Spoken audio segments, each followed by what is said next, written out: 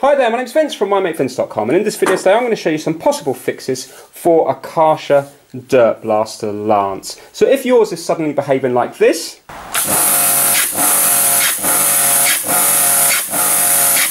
so if you can see it's not spinning properly and also the Karcher keeps cutting in and out and it's not a problem with the machine, it's definitely just a problem with the Lance. Right, that's that one. Let me show another example of a failing one. Can you hear it's kind of, uh, the Karcher itself is like hunting, isn't it? And also that's not working properly. Hopefully we can fix that. So what we need to do is get an 18 millimeter spanner and you need to undo this end here by turning it counterclockwise. Now I've already undone this numerous times so it's easy to do. First time you do it, it is very hard. So you're going to have to clamp this side here on the flats and then turn this here. Or you could use, for example, a spanner there and then your socket or your spanner this side and turn it counterclockwise like that and you will see it will give. So now keep on undoing it. And what we want to do is we want to make sure that you can see daylight all the way through there to make sure that there's no blockages in the actual tube itself. Now when it comes to this part here, we're going to get some pliers and we're going to pull out this section. So get the pliers and just pull it out like that. You will see that the O-ring has come out with it. Obviously don't lose that. If it's not on there, don't panic. It might well be on that part there. Okay, so now if you have a look, first things first is make sure that all these holes are nice and clear. So this is where the water comes down and basically it gets forced through these tiny little holes and you can see they're all at an angle there. See there's one there, yeah. So there's four of them. So make sure that none of them are blocked up with, for example, any old leaves or anything, because if you've left this stored over winter, they might have got in this side here if this is not attached to the actual Karcher washer. So that all looks good. Now we want to take out this part here. Now, this is the part that normally fails.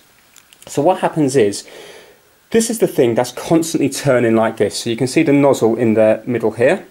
And this is turning like this to give the jet that effect where it's spinning. And because this ball bearing is constantly rushing around this bit here, like so, getting forced around by the jets of water, it can cause wear, not on the ball bearing itself, but the plastic underneath. So if you have a look now, you can see that the ball bearing is barely sticking out from the top at all, and that's the problem. Overall, the whole thing has been shortened, and that's why it's not working properly. So get yourself a very small needle or a very small, tiny, tiny screwdriver, put it down the side and force out that ball bearing. Now if you have a look in here, you will see that the ball bearing just sits on these tiny, tiny little legs here, here, here, and here.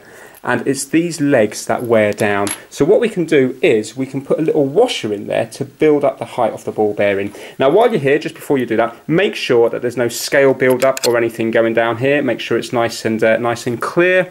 This one is just water there, that's why it looks kind of blocked up. But uh, there you go, you can see it's nice and clear now. Yeah, And also make sure the nozzle is clear as well. If it's not clear, then obviously free it up using something smaller than the hole of the nozzle because you don't want to make that too big. Otherwise, it's not going to be as powerful when it comes out. So now all we're going to be doing is getting a little washer and we're going to be placing this in the top there. So I'm going to place it in there, drop it down. Just make sure that it is sitting on top of the legs. It needs to be completely straight, which is a little bit fiddly to do. It's one of those things where sometimes you get it first time.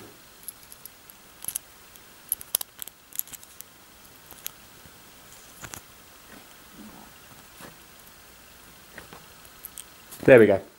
Okay, so you can see now it's sat there nicely on the legs, yet it will still allow the water through it to go down underneath. And now, if we pop the ball bearing back in, you can see now it's sticking out more yet it's still allowed to move freely and it doesn't come out. So what we've done is we've increased the overall length of it, which will now fix the problem. So the little washer that I've used in this one is 6.1 millimeters across here, internal diameter of 2.6 millimeters and a depth of 0.5 millimeters.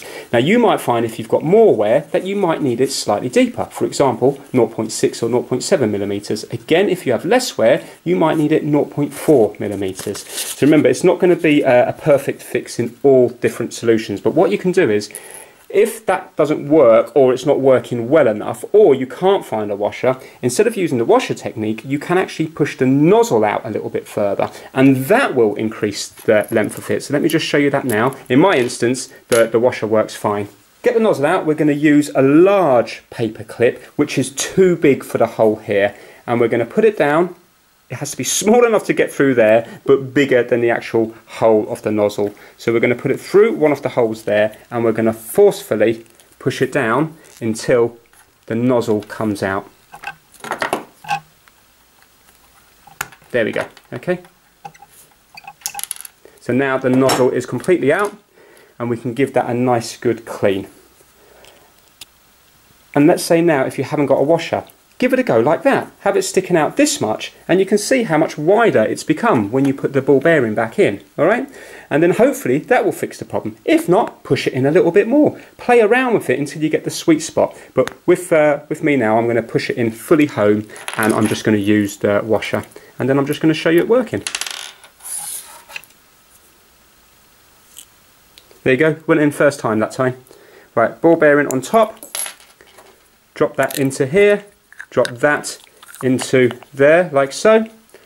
Put the o-ring back in make sure it's seated nicely. And then we're going to do it up just by hand and then we're going to just nip it up at the very end. Right okay so that's done by hand now. And now I'm just going to put the spanner on one end this on the other end and I'm just going to force it round a bit more.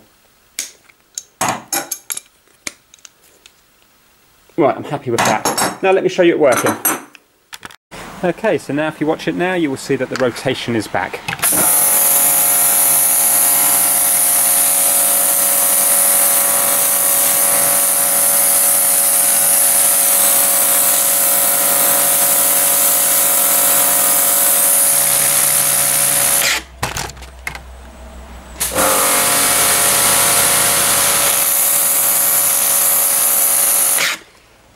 There you go, hopefully that will help you out. So there's a numerous things you can try there and don't be disheartened if you don't get it first time because you might have to do minor adjustments. For example, if you find that it's coming out, so it's the, the machine's working fine, but let's just say it's coming out like a normal lance, not spinning, then it might be ever so slightly long. So just shorten it a tight, tiny bit and hopefully you will get it where you find that spot where it works. So I don't know what the tolerances are, but they're quite small. But with a little bit of trial and error, you will get it. So that is it. Hopefully you enjoyed this video. If you did, please give it a thumbs up and please subscribe for more how-to videos. Take care. Bye now.